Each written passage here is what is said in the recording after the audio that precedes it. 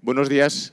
Eh, hemos terminado el café, pero tenemos que, por cuestiones personales, tenemos que cambiar un momento el, orden del día. Entonces vamos a entrar primero, como estáis viendo aquí, con la mesa redonda de la cartografía al gemelo digital y luego escucharemos la ponencia de Ariadna Cantis. Disculpad las molestias.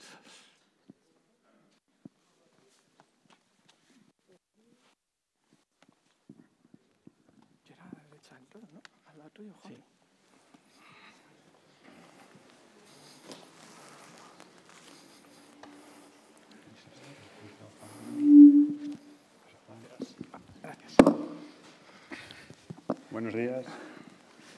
Hola de nuevo. Eh, bueno, tras este imprevisto el cambio de orden, eh, comenzamos esta primera mesa redonda de la mañana eh, que lleva por título, pues, no por casualidad, de la cartografía al gemelo digital.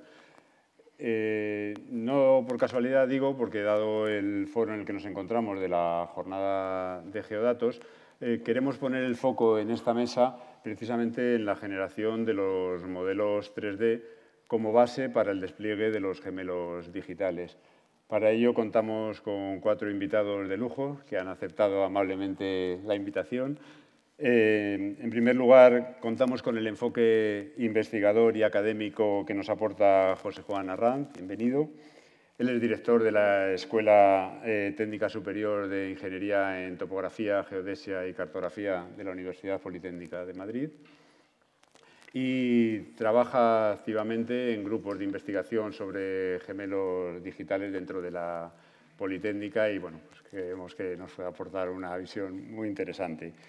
También queremos contar con la perspectiva del, sector, de las empresas distribuidoras y, desarrolladoras de soluciones, y para ello contamos con eh, Juan Miguel Álvarez, él es director de desarrollo de negocio de Geograma, y sin duda pues un referente en cuanto a la modelización en 3D del espacio público. Muchas gracias, gracias Miguel. A vosotros. Contamos también con Néstor Iglesia, él es fundador y director general de Voxel. Es la, eh, la empresa responsable de la plataforma Oblicuo que soporta el visor gemelo digital del Ayuntamiento de Madrid. Eh, desarrollado en el, en el entorno del, del, contrato de servicios de cartografía que ejecuta la UTE Cotesa EDEF Cartografía Madrid. Muchísimas gracias, Néstor. Gracias. Y por último, creemos que es interesante contar con la visión de todo esto de los propios usuarios. Y para ello pues, contamos con Fernando Serrano, es vocal asesor de cartografía en la Dirección General de Catastro, y uno de los responsables del proyecto Catastro en 3D. Muchas gracias, Fernando, Por, asistir. Y nada, pues nos pediría a los cuatro eh, la mayor brevedad posible en las intervenciones, tenemos el tiempo muy limitado, y que os sintáis pues, libres de intervenir en, cualquier momento como estiméis oportuno.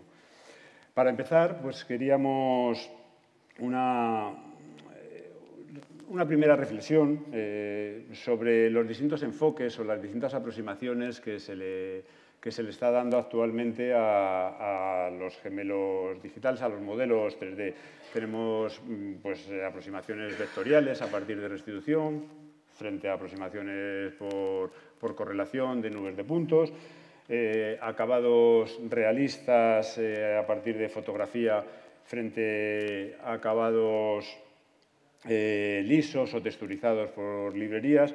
Evidentemente todo es un equilibrio entre, precisión y, usabilidad. Pero mm, nos gustaría conocer, José Juan, desde vuestra perspectiva de los grupos de investigación, ¿cómo, cómo enfocáis este, este tema? Eh, bueno, tú ahora mismo hablas de, de, dos modelos posibles para obtener un modelo 3D y hablas de, de, esa restitución fotogramétrica y de esa obtención de las nubes de puntos.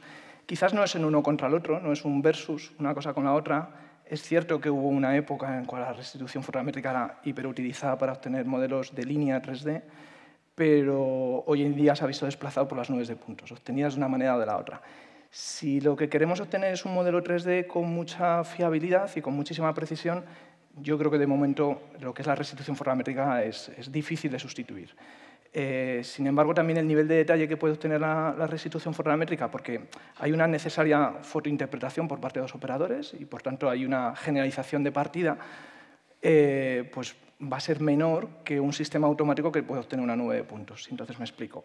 Ah, la nube de puntos puede proceder o de un sensor LIDAR que registra de manera directa o por multicorrelación no es selectivo, va a registrar absolutamente todo. Entonces podemos registrar con muchísimo nivel de detalle pues, cualquier edificación, mobiliario urbano que puede tener la ciudad, etcétera, etcétera. Si queremos ser precisos en la obtención de cuáles son los límites de los objetos, eh, a ver, tenemos que recurrir a o inteligencia artificial o algoritmos que nos extraigan primero los límites de aquello que se ha podido registrar a nueve puntos, que no es todo, y luego diferentes algoritmos que nos hagan una generalización y un suavizado que se acerque a lo que podría ser una restitución fotogramétrica que, que, es interpretada básicamente por un usuario. Pero todo esto siempre partiendo del hecho de que en la, la puntos se pueda ver esa diferencia, porque un uso de suelo, por ejemplo, no se puede ver. Aunque sí que es cierto que el uso de suelo se podría ver sobre una imagen, pero no sobre el LIDAR. Entonces, yo creo que la restitución fotogramétrica la vamos a tener ahí siempre que queramos esa precisión.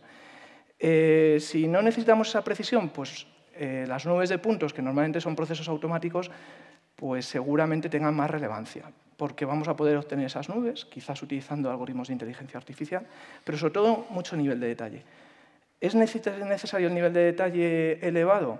Pues si yo quisiera hacer una aplicación catastral, ya que tenemos aquí a Fernando Serrano, pues a mí me interesa más el tener unos límites muy precisos de lo que son los límites de edificación que el hecho de que en la terraza, por ejemplo, haya máquinas de aire acondicionado o, haya claraboyas o haya tragaluz, etc. Sin embargo, si yo lo que quiero es ver en qué lugares de la ciudad de Madrid quiero colocar placas solares o hacer huertos urbanos en azoteas, pues necesito esa información. Y eso normalmente en fotogrametría es complicado que un operador de fotogrametría se entretenga en digitalizar máquinas de aire acondicionado, lo cual no tiene sentido. ¿no? Entonces hay, hay, que buscar un ten con ten entre qué es lo que necesita el usuario final y la resolución que tenemos que tener, y a lo mejor combinar las dos técnicas. Y luego comentas también el tema del detalle radiométrico. Claro, yo hablo del dato geométrico. Dato geométrico, pues ya vemos estas diferencias.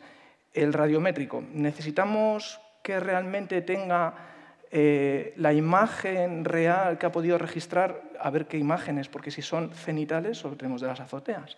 Si tenemos imágenes oblicuas, pues a lo mejor tenemos de las fachadas, pero claro, el volumen de información que vamos a incorporar al modelo es muy elevado. ¿Se necesita o no se necesita? A lo mejor si tengo una biblioteca suficientemente buena y texturizo, más que suficiente como para tener un modelo que yo creo que es interpretable por todo el mundo. Entonces tenemos que también buscar ahí ese ten ten entre volumen, ya hemos visto que el volumen es elevadísimo de información, y, y, el uso que vamos a hacer de esto. También es cierto que no deberíamos caer en errores del pasado, que nos ha ocurrido en el territorio nacional, de eh, aligerar la información porque no cabe esa información cada vez los dispositivos de almacenamiento van a ser mejores. Entonces, esto que ahora mismo nos sorprende, a lo mejor cuando sea la sexta edición de las jornadas, pues lo habéis multiplicado por cinco y no pasa absolutamente nada. Entonces, bueno, eh, creo que no es un versus una cosa con la otra, sino que habría que buscar ese, ese, equilibrio entre lo que se necesita y lo que vamos a obtener, pero seguramente hablando de una ciudad en la cual la precisión que se requiere es ligeramente elevada, la restitución fotogramétrica de momento creo que es difícilmente desplazable, desde mi punto de vista. Muchas gracias. Y, a nivel del sector de, los, proveedores de soluciones, ¿cómo creéis que están, que están apostándose en esto? ¿Dónde, dónde se ve el, mercado? ¿Dónde se está desarrollando más? Bueno, pues el mercado la visión que tenemos nosotros, eh, existe una tendencia mucho más grande a trabajar con modelos obtenidos por, correlación o con nubes de puntos, modelos que tengan con la idea de obtener mallas continuas, quizá por la influencia que haya tenido Google al mostrarnos las ciudades en 3D. Y existe una tendencia muy elevada a dar a conocer la ciudad, intentar dar a conocer la ciudad o los proyectos que se hacen en la ciudad mediante este tipo de datos. Eh, también quizá por la facilidad en obtenerlo, porque al final es dotar de capacidad de, cómputo y de capacidad de memoria para poder generar ese tipo de datos. Entonces es mucho más fácil, es mucho más fácil para, para las empresas proveedoras, incluso para, para los técnicos pues, plantear proyectos de ese tipo, más que un proyecto tan ambicioso como puede ser hacer una cartografía tridimensional eh, de alta resolución en, de una ciudad y luego pues, generar los modelos eh, asociados a esa cartografía. Desde mi punto de vista es mucho más potente este último modelo, por las capacidades que te permite también de introducirlo en un GIS 3D, que todavía les queda mucho por hacer, pero puedes tener mucha más potencia a la hora de explotar la información que con una simple nube de puntos o una malla 3D, que bueno, la puedes caracterizar, la puedes clasificar, pero tiene más un impacto visual que un impacto más técnico. Entonces, el mercado tira por la primera vertiente, pero yo creo que el potencial está en la segunda. Sí, bueno, yo desde el, desde el punto de vista, eh, bueno, mm, le doy mucha importancia al para qué ¿no? se van a utilizar los, los modelos. Entonces, eh, yo tengo mm, la visión de que hay dos tipos de modelos, los modelos eh, que dan respuesta a, análisis que podamos hacer en el territorio, le podemos llamar modelos GIS. Eh, cómo generes esos modelos 3D GIS pueden ser a partir de la cartografía. La cartografía yo creo que nos va a dar ese pegamento que, donde los conceptos de georreferenciación, precisión, alineaciones, nos va a dar esa coherencia a la hora de hacer ese, ese modelo 3D, eh, que si es para dar solución de análisis, bueno, pues, eh, eh, bueno, pues nos va a permitir dar respuesta a temas de impacto visual, a temas de, propagación del ruido en mapas de ruido, eh, o incluso impacto visual eh, para cuando se hace una, infraestructura viaria. Luego están, en mi opinión, los modelos 3D que nos ayudan a resolver los problemas, o sea, constructivos. ¿vale? Eso es lo que nos están pidiendo ¿no?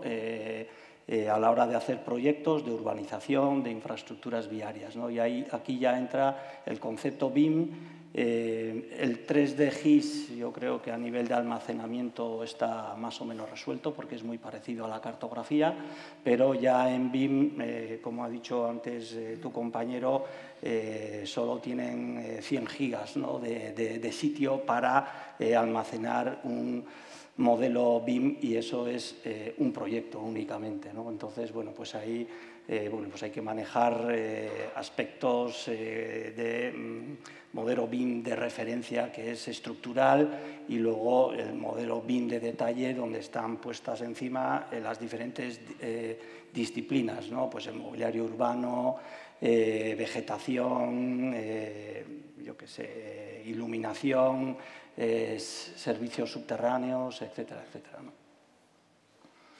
Desde nuestro punto de vista, desde el punto de vista del catastro, estoy un poco en la línea de Juan Miguel. Nosotros lo que pensamos es la posibilidad que tiene la información. Nosotros, eh, de alguna manera, la sede es un proveedor de productos y servicios que utiliza el ciudadano, pero que utiliza muchísima gente, que incluso no sabemos quién está tirando de nuestro VMS o de otras descargas y se están haciendo cosas. Eh, entonces, el, el 3D para nosotros es a ver, eh, la propiedad tiene un componente claramente en tres dimensiones. No es lo mismo un ático que un primero, a efectos de todo, desde las vistas, como decías, o eh, el mapa de sombras de la, edificación de al lado, a cualquier cosa. Quiero decir, si piensas orientaciones, sombras, etcétera, etcétera, para la certificación energética o para otras muchas cosas, a nosotros lo que nos interesa es la usabilidad. ¿Quién va a usar esto y para qué? Y nosotros, de alguna manera, en esa plataforma que tenemos de la sede, sí que utilizamos información de otra gente. Por ejemplo, modelos digitales de IGN, hoy estamos pensando en cómo dar cota verdadera al modelo que acabamos de sacar en 3D, etcétera. Pero lo que nos parece importante es que el 3D eh, represente lo que es la propiedad y la propiedad en el, en el, espacio verdadero, porque vamos a tener fenómenos dentro de muy poco que, por ejemplo, en San Martín, con vías, viales, eh, estación, más encima un edificio, más jardines, más no sé qué, o empezamos a manejarnos todos en 3D o no hay quien sepa cómo es en realidad la propiedad y es inevitable. Eh, yo ahí lo que creo es que ahí debe haber una convergencia de tecnologías y que nosotros podemos aprovechar información de otra gente para suministrarlo a los usuarios finales, que es quien lo demanda. Eh, por mm, contar alguna anécdota, llevamos 10 días con el 3D que hemos puesto y ya hay gente que piensa si se puede descargar, si para planes de arquitectos vendría bien un VMS. Eh, quiero decir, eh, ahora mismo lo tenemos como lo tenemos y lo queremos dejar un tiempo para ver precisamente cuál es el uso, la demanda, qué cosas nos piden, por, dónde va. A mí me interesa casi más eso, la usabilidad, que la precisión. La precisión siempre viene después y siempre se puede mejorar. Y yo creo que lo que hay que pensar es que el usuario final que quiere ver en tres dimensiones dónde está su trastero, porque no lo tiene claro, o dónde está su garaje. No me estoy refiriendo ya a alturas, ¿eh? también me estoy refiriendo a subterráneos. Y en ese sentido, Juan Miguel también ha citado algo que creo que es importante. En ese modelo, las utilities tienen que estar todas. No sé cómo las tenemos que integrar y en qué mapa lo tenemos que integrar, pero que el gas, el agua, la luz, eh, no sé qué, las placas solares, todo eso tiene que estar en un modelo 3D y todos tenemos que saber dónde, dónde están las cosas. Bueno, ese es un poco nuestro punto de vista eh, inicial, por decirlo de alguna manera. Sí, la verdad es que no hay una solución, sino hay, un problema y es eh, intentar buscar la mejor solución para, ese problema concreto. Lo habéis anticipado ya, eh, Juan, fundamentalmente el tema de la gestión de las múltiples escalas. bueno, Hablamos de gemelos digitales, es un comodín que está eh, en, todo en todos los sectores de, producción, componentes. El otro día leía que se está desarrollando el modelo digital de los océanos, estamos desde microscópico hasta, hasta macroscópico, sin abordar tanto, eh, si nos ceñimos a, entornos regionales o locales, como pueda ser el del ayuntamiento, eh, de cualquier ayuntamiento, pues ya lo comentaban esta mañana, se están recibiendo ya efectivamente proyectos, proyectos BIM. Otra área en la que se está desarrollando mucho es la conservación del patrimonio. Eh, escaneos y modelos 3D de máximo detalle pues, que han hecho posible pues, la reconstrucción de Notre Dame, cosas de este estilo. Eh, ¿Cómo gestionamos o cómo, cómo, cómo, integramos esas diferentes aproximaciones, esas diferentes escalas en un proyecto eh, regional a partir de vuestra, vuestra experiencia, Juanmi, por ejemplo, en, proyectos concretos? hablamos de modelos únicos, hablamos de modelos complementarios que accedemos a ellos. Eh, comentaba eh, José Juan que por mucho que, queramos no se puede hablar de un modelo regional o estructural que abarque el máximo nivel de detalle. A la hora del día a día, ¿cómo gestionamos esa múltiple escala, esa, múltiple aproximación en un proyecto? Pues siento repetirme, pero depende de para qué. Porque si, si esa escala regional eh, eh, es suficiente un nivel de detalle eh, mm, no muy no muy fuerte. Em, entonces, yo creo que la tecnología ahora mismo sí que nos permite eh, tener a nivel de región eh, el 3D, ¿vale? ese, eh, ese 3D GIS ¿no? para hacer análisis. Pero otro, otro problema es cuando queremos un nivel de detalle para hacer proyectos y, y ejecutarlos ¿no? y construirlo, donde el palmo es importante, muy importante. Entonces ahí sí que tenemos que eh, tener eh, siempre eh, en cuenta la ligereza del modelo, bueno, las líneas de ruptura a la hora de ejecutar ese, a la hora de realizar esos modelos es muy importante. O sea, tened en cuenta que ese tipo de modelos son muy útiles cuando el entorno es complejo. Aquí en Madrid tenéis la M30, cualquier actuación que se haga conectando a la M30 es un entorno muy complejo. En Barcelona, las rondas, eh, Geograma hizo un proyecto a la MB eh, en el que se hizo un modelado BIM de toda la ronda y conseguimos hacer un modelo de ciento y pico kilómetros, eh, bueno, pues que se podía manejar de manera continua. ¿no? ¿Por qué? Pues porque en esos entornos es cuando realmente eh, requieres ese, ese, modelo BIM. Por eso esa, eh, esa, manera jerárquica de tener un modelo BIM de referencia estructural y luego cada una de las disciplinas, cuando estás trabajando con iluminación, pues eh, el, modelo BIM de iluminación, o bueno, redes de servicio, mobiliario.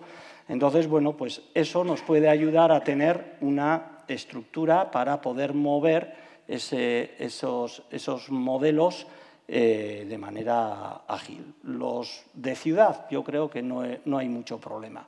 El caso ya viene eh, cuando estamos intentando utilizar modelos para proyectar o para construir.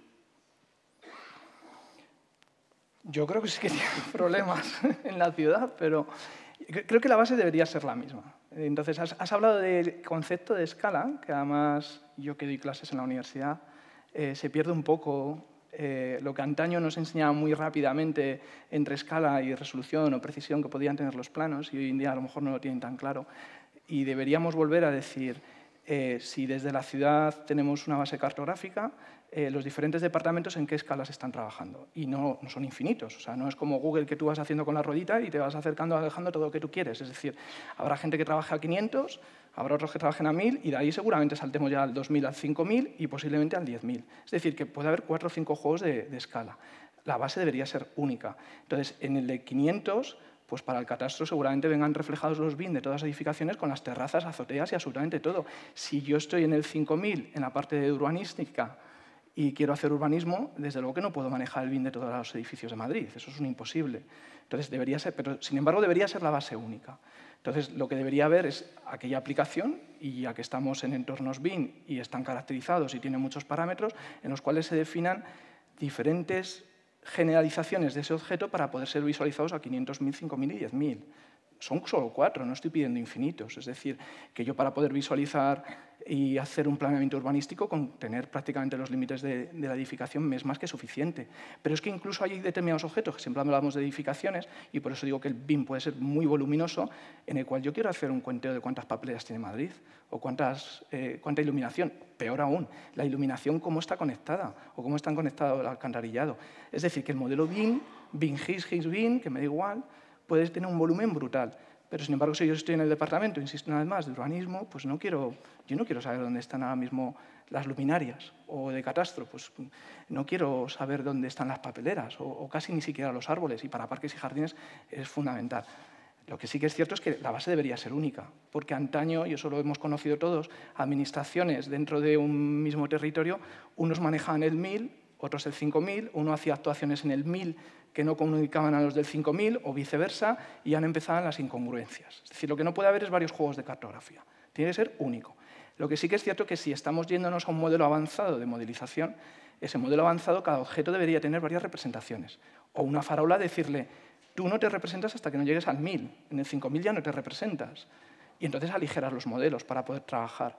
Y eso deberíamos ir a esa, a esa línea porque si no vamos a cometer pues, esos errores del pasado de manejar varias cartografías y volver otra vez a ponernos de acuerdo de qué estaba digitalizado en una, qué no estaba digitalizado en una, qué estaba actualizado en una, qué no estaba actualizado en la otra, que puede ser una, verdadera locura. Muchas gracias.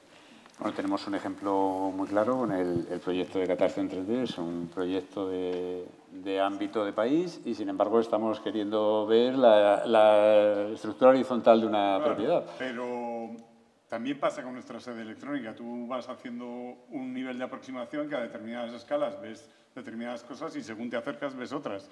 Ah, y esto es lo mismo. Cuando quieres ver en 3D, pues ya no me acuerdo bien si tenemos una ventana de 500 por 500 metros o de 1000 por 1000, me da igual, pero se ve una ventana. No, no se ve toda, todo Madrid, no lo podríamos gestionar, no lo podríamos mover. y yo creo que en ese sentido es muy importante para la usabilidad. Si tú estás esperando que aquello se mueva o tal cual, no te interesa. A ti te interesa que sea rápido y ligero.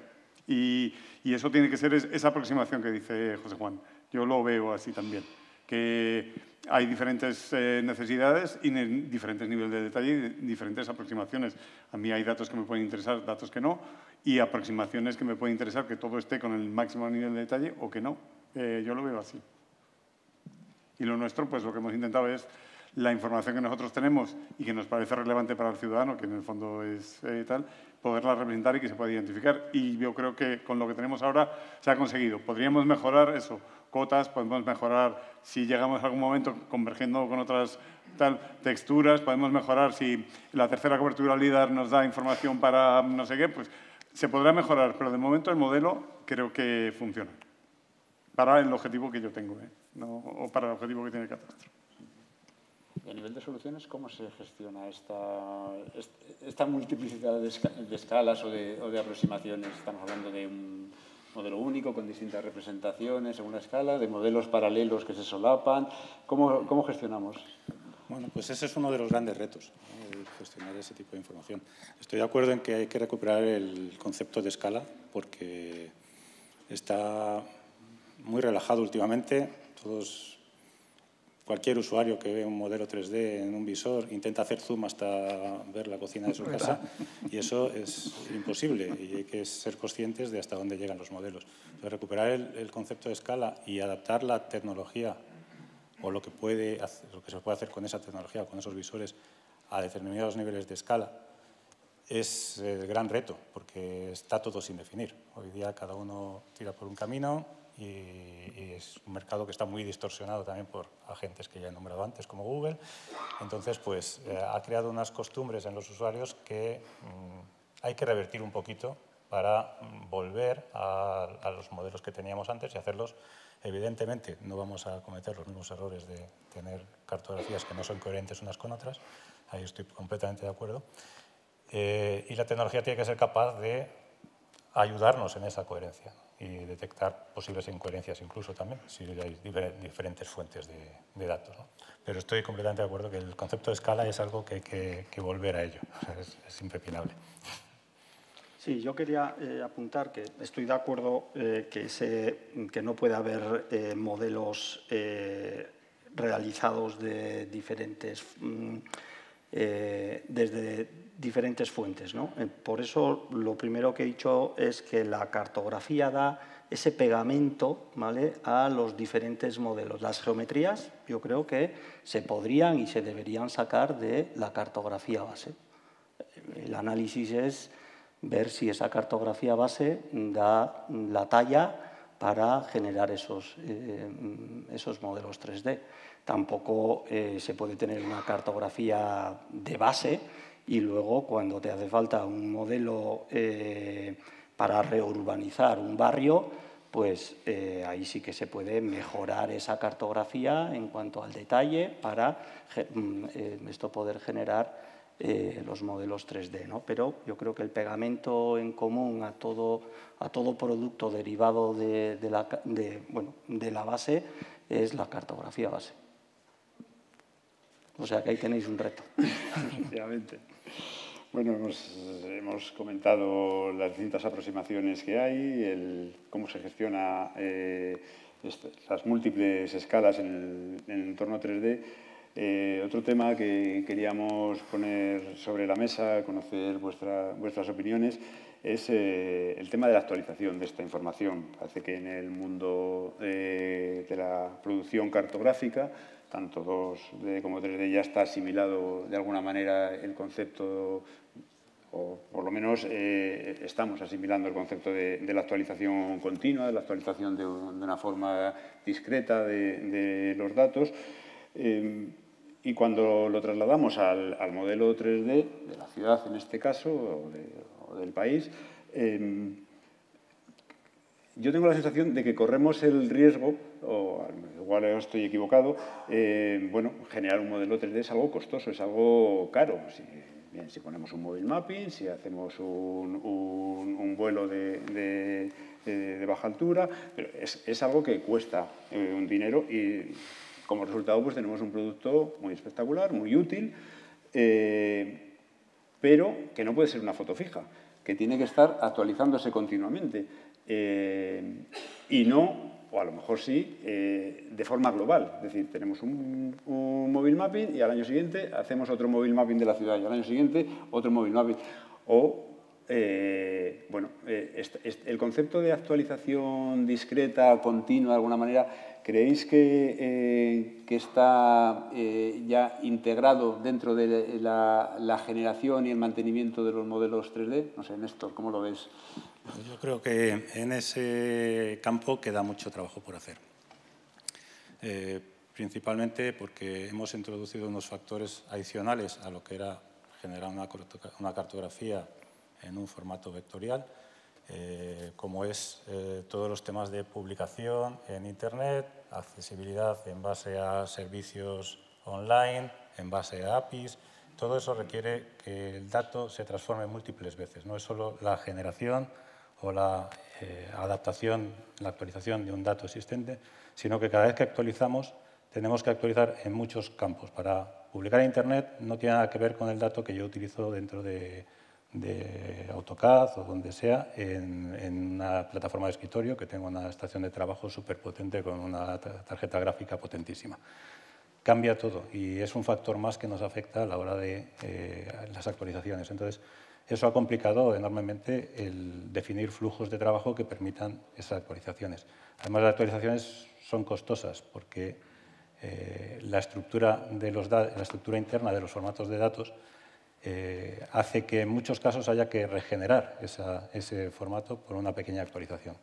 No ocurre habitualmente en el BIM, que está preparado y pensado para ser evolutivo, pero en todo lo que tiene que ver con GIS 3D todavía queda mucho por hacer. Saldrán y llegaremos a tener capacidades de editar diversos partes de los modelos, pero especialmente en los modelos de Internet que trabajan con Octris o con pirámides tridimensionales, que pueden ser regulares o irregulares. Pero un pequeño cambio en el nivel más bajo de resolución te, tienes que elevarlo en toda la pirámide. Pasaba con las ortofotos tradicionalmente, pero ahora pasa a una mayor escala, porque estamos hablando de datos 3D. Y entonces eh, definir esos procesos de actualización es, es un tema complicado que requiere mucho trabajo y probablemente mucho coste. No digo que no se puede hacer de una manera rápida, porque sí, hoy día eh, los recursos son virtualmente ilimitados. Tenemos casi almacenamiento ilimitado, capacidad de procesamiento ilimitado, pero lo que, no tenemos, lo que tenemos muy limitado es el dinero. Entonces, una pequeña actualización puede suponer un coste elevado de reconstrucción del modelo que tenemos.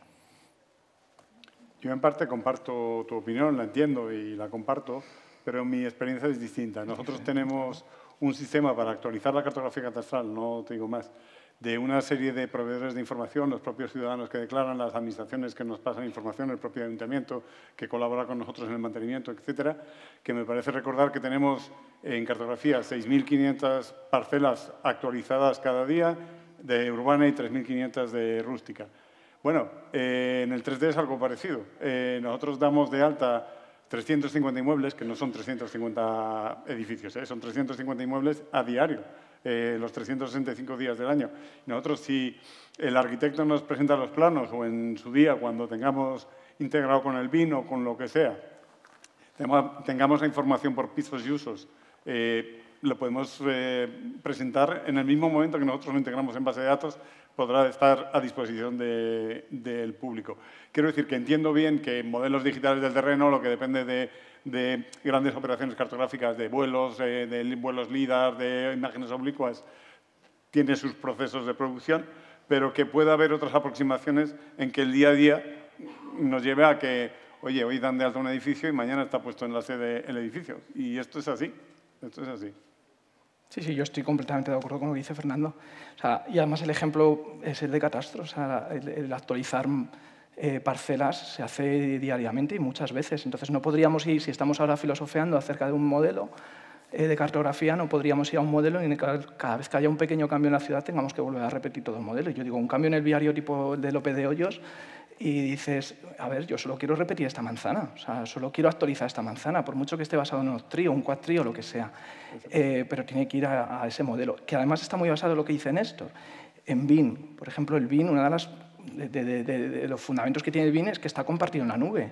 Y uno hace las estructuras, otro hace la arquitectura y otro hace el MEP, yo qué sé, cada uno hace una parte, nadie hace todo el BIM el solito. Entonces aquí debería ser exactamente lo mismo, es decir, lo tengo en la nube y hay una actuación, y hay una actuación en una de las partes, pero no en toda la ciudad. Es que si no, en una ciudad como Madrid nos podríamos volver locos. Y aparte debería contemplar el histórico. Antes hablabais de, de 10 versiones o algo así, tenéis un montón de versiones de cartografía. El modelo que se contemple debería tener un histórico, porque tarde o temprano vamos a poder necesitar recurrir a lo que ocurría hace, o cómo estaba la cartografía hace 25 o 50 años, o cuando fuera. Con lo cual, eso no tiene que ser una simple actualización, tiene que ser un añadido. Es decir, esto se ha modificado, esto no lo borro, eh, no lo muestro a lo mejor al usuario final, pero el resto de departamentos de la Administración deberían tener acceso a cómo estaba la cartografía anteriormente. Y tiene que ser la actuación en una zona, o sea, no se puede repetir todo. ¿Que hay que volver a repetir la ordenación de los TRI? Pues a lo mejor hay que repetirla, pero no podemos decir que porque haya unos TRI por detrás no podamos hacerlo de manera puntual. vamos, tendría que irnos a un modelo tipo como el de catastro. Quiero solo esta parcela, pues esta parcela, así. Esa es. Sí, yo creo que el modelo de actualización podría ser el mismo que se aplica a la cartografía. Vosotros habéis dicho que habéis pasado de varios años eh, para recorreros toda la ciudad, para actualizar, a unos meses. ¿no? Entonces eso es porque hacéis una actualización discreta de aquello que cambia, atacáis y lo, actualizáis. Pues en el caso de los modelos 3D podría ser lo mismo. Además aquí, adicionalmente, tenemos el, paradigma BIM, que la metodología BIM lo que, lo que te dice es que el, modelo BIM eh, pervive desde el diseño hasta la demolición del, edificio, pasando por la construcción y el, mantenimiento. Bueno, eso, eh, si eso es así, eh, cuando se ejecuta un edificio, ese edificio está llevado al terreno tal cual dice el proyecto. Si para hacer el proyecto hemos utilizado el modelo BIM, perdona, el modelo 3D que el ayuntamiento ha proporcionado de base, pues eso va a encajar. A vosotros os dan el modelo BIM y se podrá integrar de alguna forma. Y luego estará la tecnología, 3D Tiles, eh, la que sea, para generar esa información, para eh, eh, o sea, ponerlo a disposición del público. ¿no? Entonces, yo, mm, yo, creo que habría que mm, copiar ¿no? esa, esa, metodología que lleváis en, en, la cartografía para aplicarla al 3D. ¿Y creéis que el mercado mm, de los, eh, de los modelos 3D realmente está suficientemente maduro como para dar una una respuesta. No, no, lo digo a nivel de soluciones tecnológicas, que probablemente sigan. También a nivel de, usuario. No sé, Fernando, eh, vuestro proyecto es una cosa muy concreta, con una finalidad muy concreta, pero así en general, eh, ¿tenéis la sensación de que los usuarios, eh, bueno, luego nos lo podréis comentar también las empresas, de que los usuarios mm, en general Mm, sabemos eh, lo que queremos pedir cuando estamos hablando de gemelos digitales, cuando estamos hablando de modelos 3D, eh, el para qué que, decía, decíamos antes.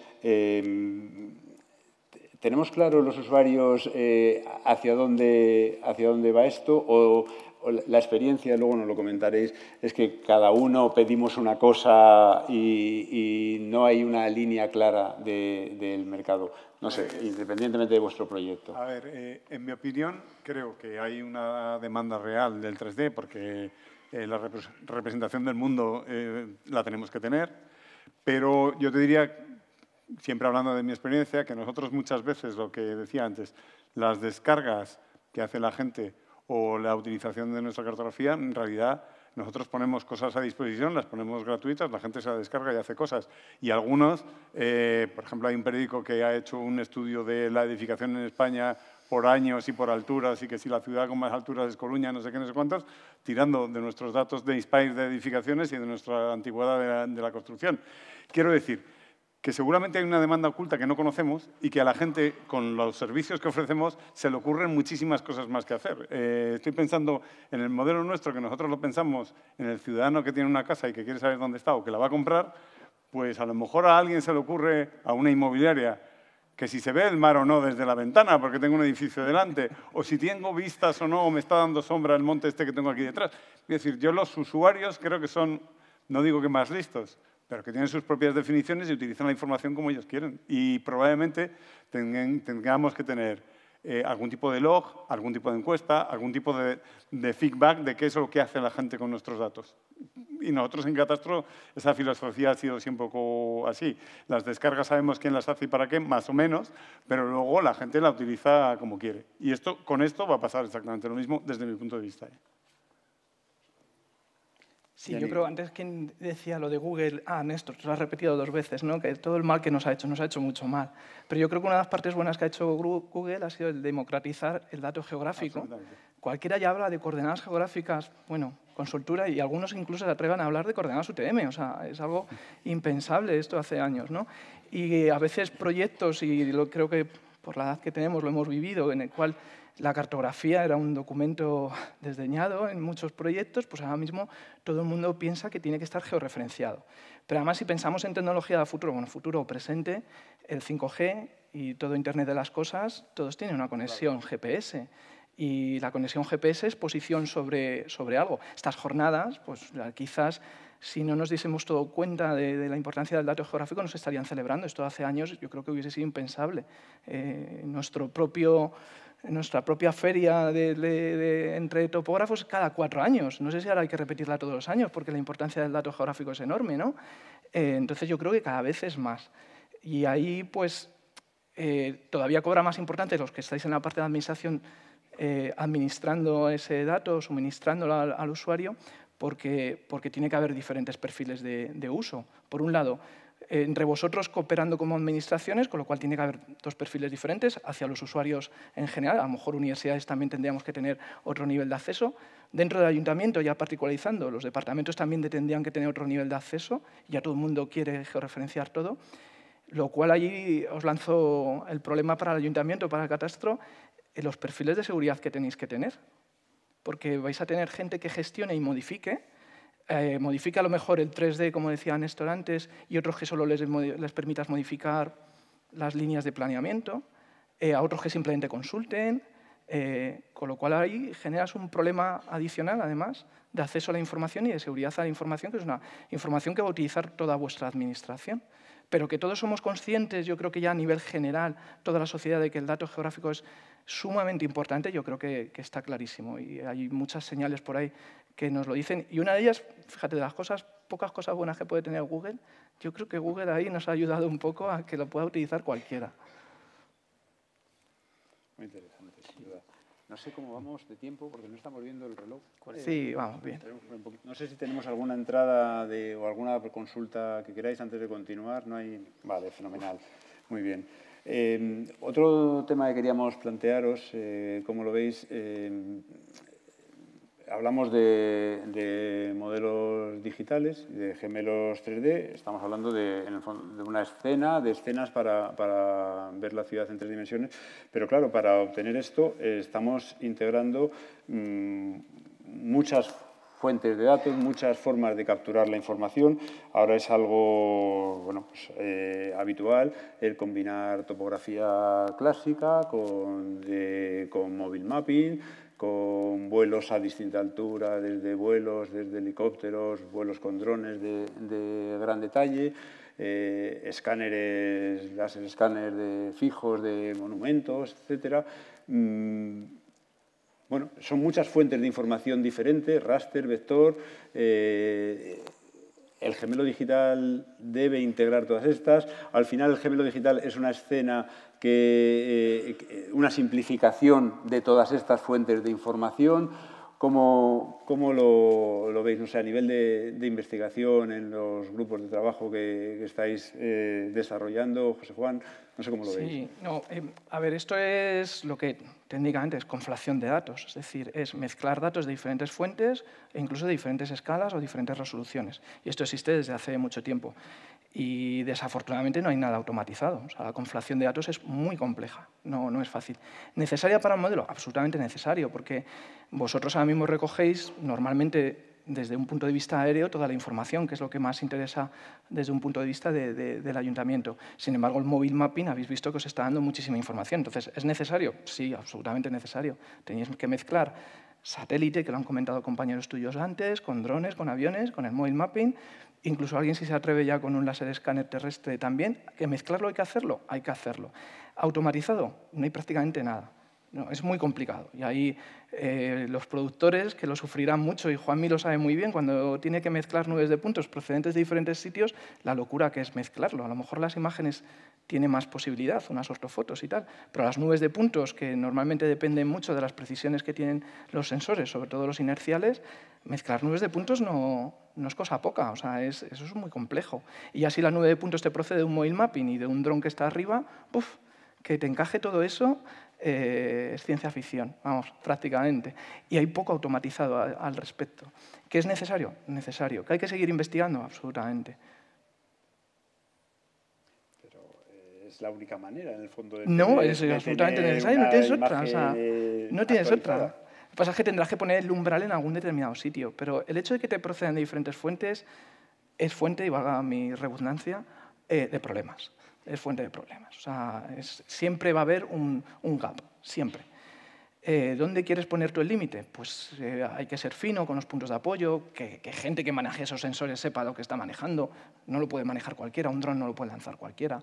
Los drones a veces necesitan puntos de apoyo, el, el móvil mapping es exactamente lo mismo, etc.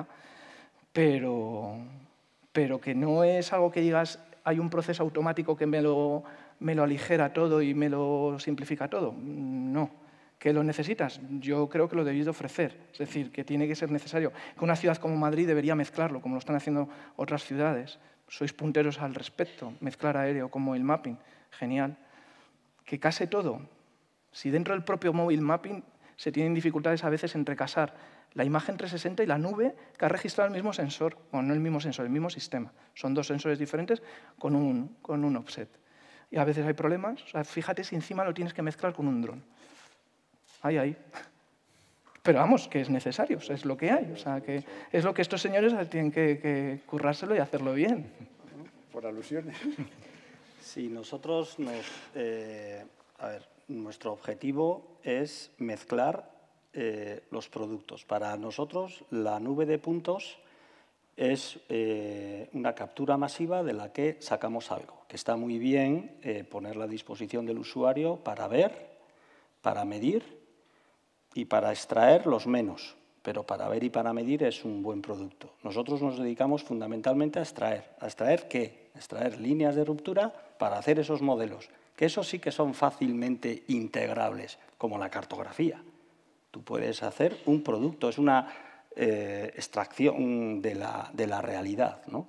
Entonces, eh, nosotros no nos dedicamos a integrar eh, esos datos brutos, nosotros nos dedicamos a utilizarlos eh, ¿vale? para extraer eh, otros productos que esos sí que son integrables y son utilizables, ¿no? porque, como has dicho Fernando, dice, a mí me piden un 3D.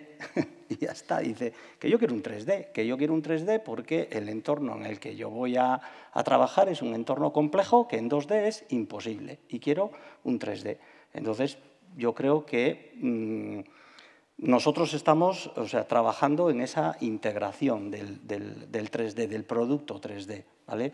del, del dato bruto pues igual Néstor igual sí que tiene más experiencia, ¿no? que, sí que pone a disposición esa, información. Mi opinión es, para ver y para medir está muy bien, pero mm, se utiliza también para extraer ese, dato geométrico. Pues nada, sí, simplemente confirmar que sí, para nosotros es uno de los grandes problemas, ¿no? el cómo hacer que toda la información que estás publicando dentro de un visor sea coherente y cuadre.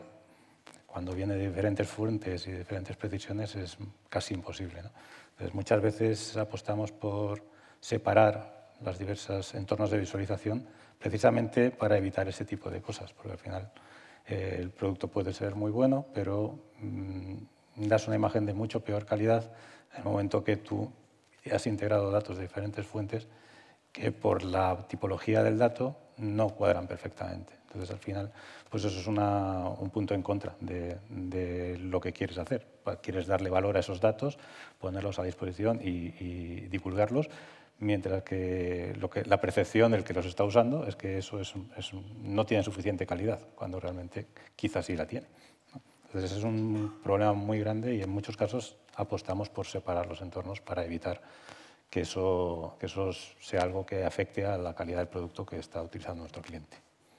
Y eso volviendo, Néstor, a lo que tú decías antes de las escalas, que antes teníamos muy claro las precisiones que tenían las escalas, si a ti te encargan un trabajo a 1.000 por un lado y 1.000 por otro, imagínate de mobile mapping y de drone, oye, estás admitiendo, si estás encargando a 1.000, es que tienes 20 centímetros de error, per se. Tienes 20 centímetros de un lado, 20 centímetros del otro, ahí tienes una tolerancia que puede rondar 30 y tantos centímetros. Y alguien se encuentra una diferencia de 15 y te están llamando la atención. Ya, perdona, pero es que no has pagado por eso. O sea, eh, el, Zoom es gratis. Claro, el Zoom es gratis. Entonces no es justo que te digan, es que está mal porque hay una diferencia de 15 centímetros. Ya, pero es que lo permite. Lo permite porque es que cuando tú me has encargado esto a 1000, yo he decidido cuántos puntos de apoyo poner, qué sensor utilizar, a qué velocidad utilizarlo, qué dron, a qué altura, etcétera, etcétera. Con lo cual estoy dentro de la tolerancia. Pero lo que dice Néstor no es bonito, o sea, y te llama la atención porque hay una diferencia de 15 centímetros. Ya, bueno, pero es que puede haberlo estoy todavía en mi derecho, ¿no? Sin duda. Bueno, yo estoy básicamente de acuerdo, pero eh, nuestra experiencia es que también se pueden, un poco como Google también, o sea, Google te enseña, pero luego la foto de fachada del Street View lo ves aparte, lo separas, ¿sabes? Nosotros hacemos cosas parecidas y lo que, por ejemplo, los planos de arquitectos seguro que tienen mucha más precisión que lo que hayamos hecho al 1000 o al 5000 y lo importante es que podamos mostrar en una determinada localización en que la parcela la tenemos definida cuál es eh, la representación en tres dimensiones. No, a veces tenemos problemas eh, de encaje, pues porque, a ver, eh, el mundo real, las esquinas nunca son perpendiculares y cosas de ese estilo, y se nota un poco ese tipo de cosas. Pero al final a lo que voy es que quizás hay que hacer una convergencia en lo que se pueda, pero también hay que eh, mostrar diferentes eh, productos y diferentes aproximaciones a lo mismo. O sea, yo a lo mejor mides en, 2D eh, o calculas diferencias de cotas en modelos digitales, pero pensar que la foto oblicua está ahí y que vas a medir en la foto oblicua, pues no, no en la foto oblicua no vas a medir. tú la ves para ver cómo es el edificio, pero nada más, te da una información distinta. Y yo creo que el usuario al final eso lo tiene que aprender también a ver. Tiene que aprender a ver que hay cosas que pueden medir y cosas que simplemente le dicen que sí, que su piso es el tercero y que sea su terraza, que es lo que en el fondo le importa, su balconcito. No sé cómo decirte. Entonces, yo creo que hay que ir a, ese tipo de cosas. Sí, de alguna forma es un poco la, solución en la que estamos ahora con el, con el visor gemelo digital del ayuntamiento. Eh, esta visualización por separado de las distintas fuentes de datos la clave quizás yo creo que es un poco volver al origen y, apoyarte en, las redes geodésicas, las redes topográficas, que todos los datos sean homogéneos, incluso siendo homogéneos, pues como bien decís, tiene un trabajo por detrás, hay poco automatizado a, a fecha de hoy y tiene mucho trabajo por detrás. Nosotros tuvimos el caso, por ejemplo, con las nubes de puntos de, los túneles de, la M30, etcétera, pues que ya no es integrar distintas fuentes de datos, sino distintas pasadas del mismo, del mismo coche, pues eh, eh, integrar todo eso. Pero bueno, si al final estaba apoyado en la red topográfica, pues, pues, se ha conseguido una representación coherente con la, con la superficie. Quizás eh, al final es todo volver a, las bases, a, lo que, a lo que estudiábamos en la escuela. Eso que dice Juan Miguel, el pegamento. Bueno, pues eh, no sé, creo que más o menos estamos en tiempo. Únicamente mm, resumir un poco, hemos querido contar con la perspectiva eh, académica, investigadora, con la perspectiva de los propios usuarios, de las empresas del sector que nos, nos han aportado esa visión más tecnológica. Eh, hemos abordado los distintos, las distintas formas de acercarnos al gemelo digital, el tema de la multiescala, las actualizaciones, las distintas fuentes de datos. Únicamente si hay alguna pregunta, eh, no sé si en redes me parece que no había nada, aquí en sala si yo como no veo nada, no sé si alguien levanta la mano, eh, si hay alguna pregunta en sala y si no, pues por nuestra parte, nada, únicamente agradeceros la presencia. Por allí veo a alguien que se levanta. Sí, pues si alguien le puede acercar un micrófono. Hola, buenas. Soy José Sánchez. ¿Ya? Mi nombre, sí, bueno, me, llamo Antonio Rosarena y les voy a intentar trasladar una inquietud y una pregunta posiblemente. En este caso, como he sido representante de España ante las Naciones Unidas durante desde el año 2011 al 2020, quiero trasladarle, porque en todos estos foros hay una parte político-técnica que me parece trascendental para ligar realmente todas las actividades. En el año 2011 las Naciones Unidas creó el Grupo de Espacial, el Grupo de Gestión Global de la Información Geoespacial. ¿Para qué? Para satisfacer los 17 objetivos del desarrollo sostenible y entre ellos 14 temas. 14 temas que son los que se están hablando aquí. Unos son las ortofotos, las redes hídricas, las redes de carreteras, es decir, de lo que estamos hablando hoy aquí. Eh, esto se aprobó en 2019, estos 14 temas, con vista a crear el, twin, el, Digital Twin, es decir, los gemelos digitales de todo el mundo.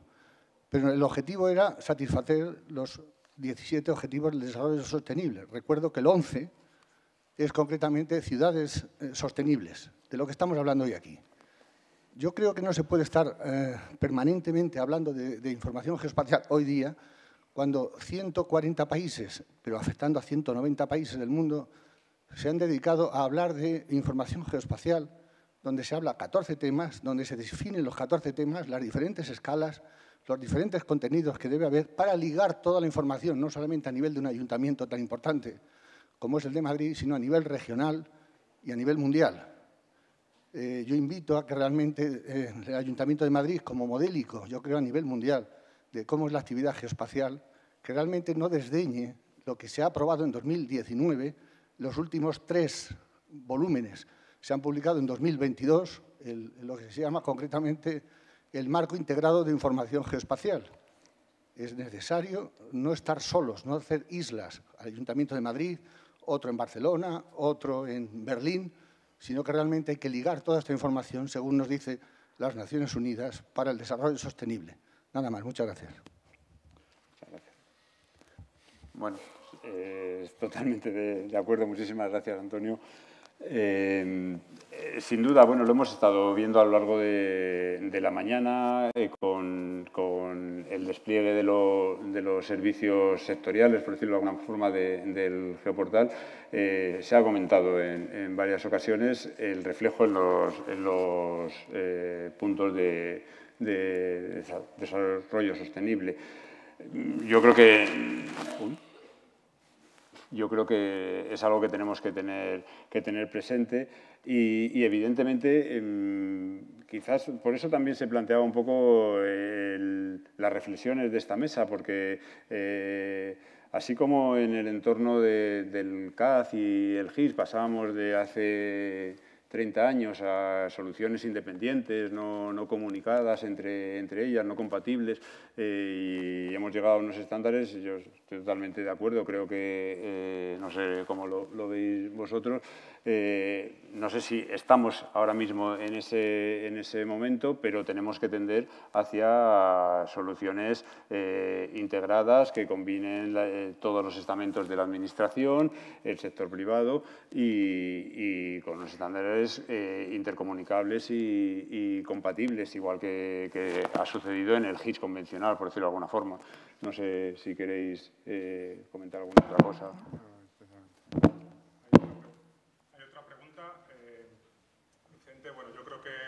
responder eh, varios de los ponentes. Eh, eh, la pregunta es que quién proporciona estos datos y qué credibilidad le dan los organismos receptores de esta información, porque, bueno, como habéis comentado, también dice el, que ha hecho la pregunta que el acceso a un dron o a un escáner es de fácil uso, pero quién certifica la solvencia, la fiabilidad de estos datos, el control de calidad y cómo evitamos que la información que llega a las administraciones, en este caso a los organismos, sea fiable. Entonces, bueno, yo creo que Juan Miguel, Néstor eh, pueden hacer parte de la pregunta y Vicente la otra. Bueno, yo creo que si, se incorpora eh, información a ese eh, modelo 3D o cartografía municipal que es oficial, bueno, pues eso tiene que mm, estar sustentada por detrás por una ordenanza municipal en la que tendrá que definir las reglas de juego. Pues ese plano o ese modelo 3D se tendrá que hacer con un sistema de referencia, una metodología, un modelo de datos eh, y luego bueno, pues podrá eh, formar parte de, esa, de, ese, de, ese, plano o ese modelo 3D de, de referencia municipal. ¿no? Entonces yo creo que ahí sí que hay un gap entre lo que te dan y lo que llega, que es un poco eh, la normativa ¿no? que hay que seguir y esa hay que definirla, claro. Sí, desde el punto de vista de administración pública, pues un poco describe esa línea. ¿no? Desde el punto de vista de las empresas privadas, cuando hay iniciativas para que generar contenidos propios para luego eh, aportarlos como contenidos adicionales, pues tenemos nuestros propios procesos internos similares a los que tiene toda administración pública. Tenemos unos estándares que además procuramos seguir los estándares eh, eh, más reconocidos a nivel europeo, a nivel mundial, y luego tenemos nuestros propios controles de calidad, de manera que pues, eh, tenemos unos niveles de exigencia para los proveedores que están dentro de esos estándares. No, nadie, no cualquiera que coja un dron y saque cuatro fotos, pues lo vamos a utilizar como, como un, producto, como un producto vendible. Entonces, bueno, eh, yo creo que la clave ahí es los controles de calidad y los filtros que ponemos, tanto en empresas privadas como administración pública. Sí, bueno, eh, perspectiva de la Administración, evidentemente, pues hay, hay, dos niveles, digamos, un previo, que son unas especificaciones técnicas, o bien mediante la fórmula de una ordenanza o mediante otras fórmulas, pero sí está claro unas especificaciones técnicas en cuanto a, la entrada de datos externos, por decirlo de alguna manera. Pero no solamente eso, sino también es fundamental eh, que una vez recibida la información, eh, esa información, pues, como hablábamos antes, se apoye en las redes geodésicas, en las redes topográficas, lleva unos controles de calidad geométricos para que sea el propio ayuntamiento en que, independientemente de la, del origen o de la fuente de la que venga, que no sé lo que se me ha oído y lo que no. Pues eso, eh, comentaba que al final eh, es el propio ayuntamiento el que tiene que certificar la, fiabilidad o la bondad de esos datos conforme a, la escala declarada de referencia del producto. Una más, y solamente en cuanto a los posibles eh, métodos de actualización del gemelo digital, nos preguntan cuál podría ser el más práctico o utilizable y si hay prevista, además de una actualización puntual, una más genérica, más general. Bueno, eh, eh, ahora mismo lo que eh, las actualizaciones del gemelo digital y de toda la producción cartográfica del ayuntamiento van vinculadas a, dos elementos fundamentales. Uno es una componente periódica, que son los vuelos que, como se ha comentado esta mañana, con origen en la Comunidad de Madrid y con la colaboración que, que mantenemos con ellos, los vuelos fotogramétricos de ámbito global que recibimos cada dos o tres años son los que hacemos la ortofoto y a partir de ahí la, aerotriangulación, la ortofoto y luego la generación de todos los productos, incluido el gemelo digital, que sería digamos, el barrido general. Y luego el objetivo en lo que estamos es en incorporar todas estas fuentes de datos eh, locales o, de detalle que, estamos, que hemos hablado para hacer actualizaciones discretas de, dónde se está moviendo la ciudad, pues porque el ayuntamiento en el fondo lo conoce, bien por obras, por licencias, por lo que sea, pues eh, a partir de ese conocimiento, eh, aprovechando la metodología o la tecnología de captura de datos más adecuada para, para, cada caso concreto en función de la superficie y de, otros, y de otros elementos, pues hacer esas actualizaciones discretas que luego con el siguiente vuelo pues nos permiten volver a hacer ese barrido y digamos eh, utilizarlo de coche escoba para recoger todo aquello que hayamos podido perder en, en ese intervalo entre, entre dos vuelos sucesivos. Creo que nos hemos pasado bastante al final. Me parece más. no se ve nada. Eh, yo quería deciros eh, lo de la multiescala que decíais. La multiescala, si el, dato es el mismo siempre, eh, no tiene sentido hablar de escalas. La escala será la escala de, de lo que he recogido en el primer momento. Si es la 1000, será los 20 centímetros. Pero yo cuando hago un zoom he de mostrar el mismo elemento. Siempre mostraré menos elementos que no, aparecerán, pero será lo mismo. Entonces yo creo que ya hablar de, diferentes escalas para una misma cartografía no tiene sentido. Eh, siento no estar de acuerdo. Eh, a ver, estoy de acuerdo que en la recogida del dato es una determinada escala y no le podemos exigir más de esa escala. Pero luego cuando yo estoy mostrando la información, tengo que quitar información. Y ya quitar información no es solo pagar objetos. Si estamos hablando de un objeto lineal o un objeto volumétrico, tienes que hacer una generalización del objeto que no es nada sencilla y que tiene que ser un algoritmo. Entonces, tú ya muestras ese objeto con otra escala diferente. Entonces, yo tengo la posibilidad de mostrarte un edificio a escala 1000 y le puedo exigir un detalle de 20 centímetros, pero si lo voy a mostrar a uno 10.000, no le puedo mostrar al usuario el mismo nivel de 20 centímetros, pero no por otra cosa, sino por volumen de información, porque la aplicación, como te decía Néstor, eh, es que a lo mejor no puede, no puede procesar todos los edificios mostrados a un nivel de zoom de, de 20 centímetros de detalle. Muestro menos edificios, muestro menos información. Vale, pues ya estás mostrando la información a otra escala, ya no es la misma. Entonces, el, hecho de, de la escala es un concepto de generalización de detalle no de recogida. O sea, el dato original es, el, problema está en hacer generalización. Cuando haces generalización, sí, estás modificando. Estás modificando puntos. Estás quitando puntos del, modelo. Mm. Yo no digo de quitar puntos del modelo. Pero y si no quitas puntos de modelo, no pueden tener la definición de las líneas, no puede ser la original. Tienes que hacer una limpieza, de alguna manera o de la otra. Entonces ya no, ese dato que estás mostrando en ese momento ya no es a la misma escala que ha recogido la información, es otra escala. Entonces, lo que se podría tener, lo que en una línea es relativamente sencillo, en un objeto volumétrico de tipo bin no es tan sencillo. Entonces, se deberían de tener varias representaciones para poder mostrar el objeto en diferentes niveles de detalle, para tú poder hacer lo que busques en ese momento, porque si no, mostrar toda la ciudad de Madrid, todos los edificios con el detalle de escala 1000, es que es posible que no haya ninguna aplicación, ni ArcGIS, ni la que sea, que lo pueda mostrar. Yo no estoy diciendo esto es un concepto un poco diferente, podríamos discutirlo mucho rato. Pero, de todas maneras, has hablado de objeto BIM. No, objeto BIM, objeto al fin y al cabo volumétrico, no un objeto lineal. O sea, digo lo del BIM por el hecho de que tengamos el, concepto de un objeto volumétrico tridimensional. Y no hablamos de CityGML, que, que es diferente al BIM. Es un BIM de ciudad. Que, eh, el CityGML te permite tener geometrías, mientras que el, el el formato IFC lo que te permite es tener un objeto. Aquí habría que jugar con las dos, con las dos cosas y a ver cuál se acepta más en, la cartografía de ciudad.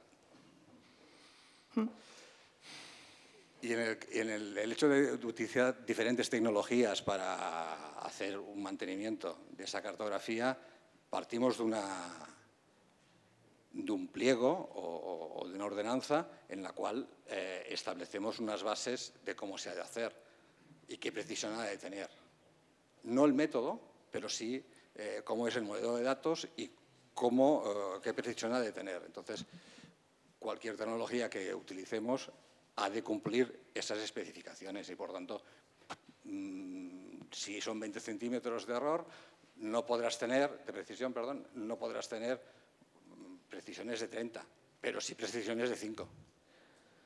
Bueno, yo creo que esto, si queréis, después cuando terminemos, ya nos hemos pasado de tiempo. Os agradecemos la ponencia y yo creo que podemos cerrar. Muchas gracias.